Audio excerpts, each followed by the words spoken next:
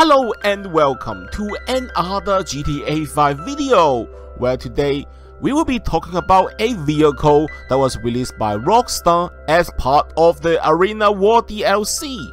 And the vehicle in question is called the Benefactor Schlagen GT.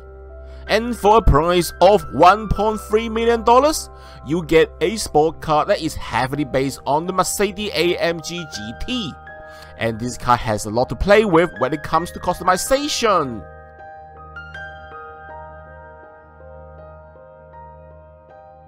Now, we need to test out the car.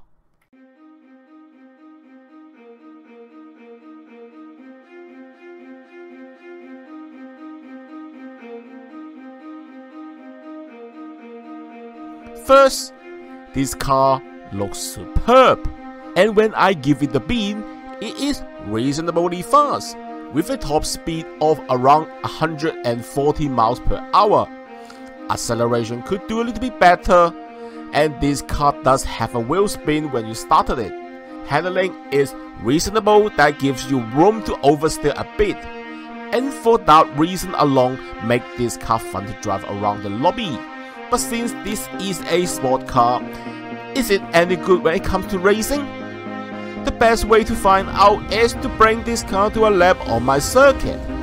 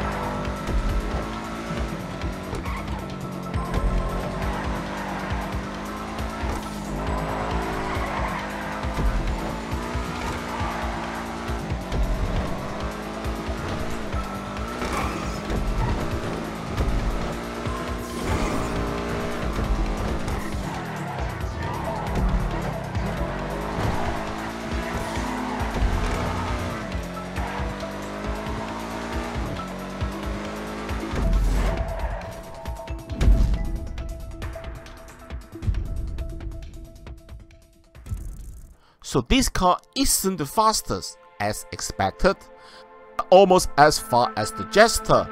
Even the Jester is much, much cheaper. But when it comes to turning, the Schlagen GT is way more fun as you really need to have this car under control. But then, when you want to, you can perform some oversteer.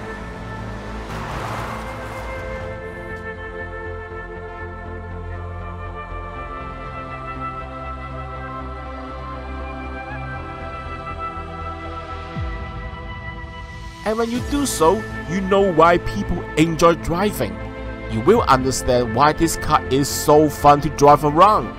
Even at an asking price of $1.3 million, I do not regret buying it. Even for some, this car could be expensive or maybe overpriced. And maybe because they are based on the Mercedes, which keen on having their car overpriced as always, this car could be different than the sports car that you have ever driven before.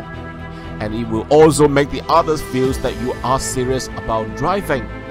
Because you are willing to blow away $1.3 million for a sport car. But you can also argue that you want this car because you enjoy driving. And you enjoy taking control. As this is you that drive this car, and not this car that drives you. So, if you are a grinder like myself, and you have several million dollars lying around, and you really enjoy driving, then go for it. But if you are just a try-hard who enjoy blowing others and yourself up, then don't bother. But while there are cars out there that is expensive than rubbish, this car is definitely expensive but superb.